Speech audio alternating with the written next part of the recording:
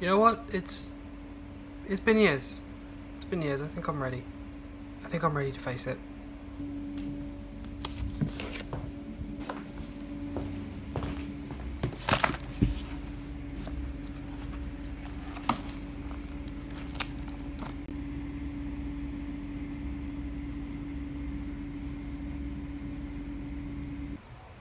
Okay, yeah, no, back you go. Back you go. Hello everyone, and welcome back to Piranha Comics for your weekly comic book update. If it's your first time watching, we usually just go through the number ones for the week and any other significant issues I can think of, along with any trade paperbacks that are new or I just feel like recommending. So, first up from Marvel, Iron Man Hellcat Annual. Ties into the current Iron Man series, so if you are getting that, you are going to want this as well. The main selling point for this series for me was seeing Patsy Walker being used again. I do miss that character quite a lot. Jessica Jones did her a bit dirty, but she had a cool character arc in season 3, right? Iron Cat number 1. So if you've been reading Black Cat like I have religiously forever, you'll know about the Iron Cat armor. The Iron Cat armor has been stolen, and it's up to these two to get it back. Jed MacKay has done absolutely no wrong by me in the last few months, so you know what? Bring it on. Mech Strike Monster Hunters, a continuation of Avengers Mech Strike. Christos Gage seems to be really killing it with these alternate Marvel takes at the moment. Like he's doing the Fortnite crossover, which by all reports is pretty good. Moon Knight Black, White and Blood, number one, second printing. If you missed out, you know where you can come now. Obi-Wan Kenobi number two. Number one was kind of a story about him as a Padawan, so number two is him with Qui-Gon Jinn. And my god, does it look awesome. How about that finale, huh? Yeah, you're to want all the Obi-Wan in your life you can get. Thor, Lightning and Lament number one. Just a little mini-series, I guess, to accompany the Jane Foster one. If you're a Thor fan, well worth your time. Oh, the biggest release of the week. The Variants number one. Haven't had a Jessica Jones book in a good while now that hasn't been digital only. Really nice seeing her back, especially with Phil Noto on the art. Come on, come on. I've been waiting for this series for quite a while, so I'm very, very happy that it's now come out. It's just a shame that it's only five issues, frankly. For DC, Batman Catwoman 12. Tom, didn't we already do a Batcat wedding? Didn't we already do this? As much as I can stand here and just tell him he's repeating himself, this cover is amazing. Look at that. It's even got the Dark Knights of Steel Batman up there. That's cool. That's real cool. This series has gone on for a long time now, so I'm really hoping that I read this and it all ties together. Really hoping.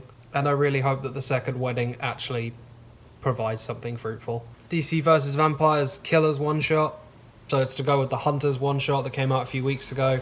This is basically the second part to that. I'm not sure why they're framing it as one shots, but DC be DC. And if you remember what happened in the first one, you know why Harley Quinn's the focus of this one as well.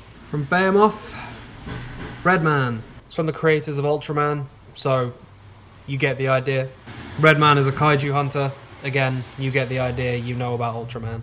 Buffy 97 one shot. This is just a one shot, so full one and done story here for any Buffy fans out there.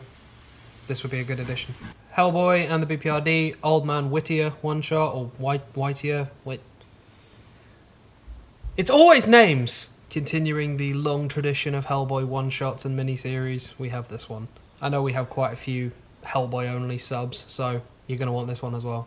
Pearl Volume 3, Number 2. Brian Bendis is back at it with Pearl. If you picked up number 1, number 2 is out now.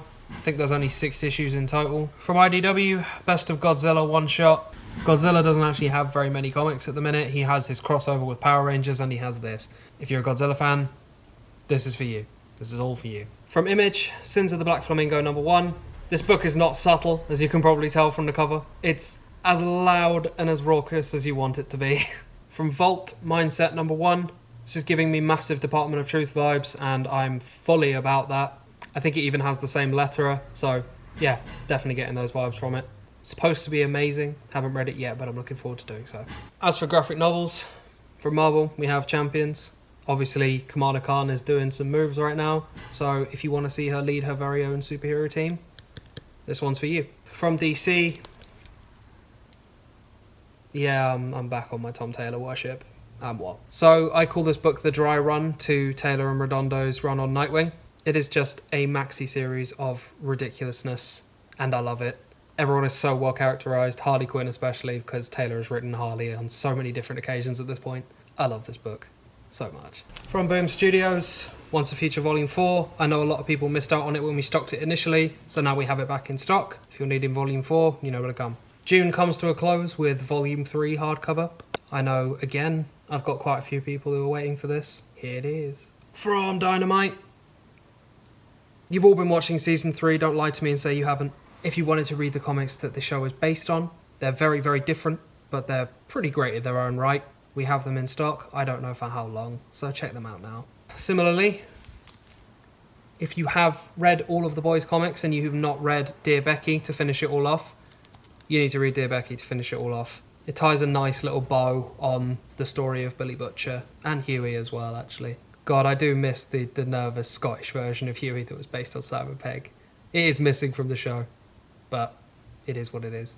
And from Image, we have a new OGN, Darkroom, from Gerry Duggan, who is really killing it with the X Men right now.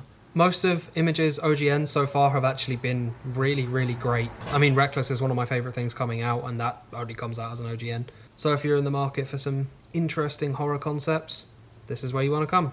That's all from me this week. Please like and subscribe if you like what you've seen.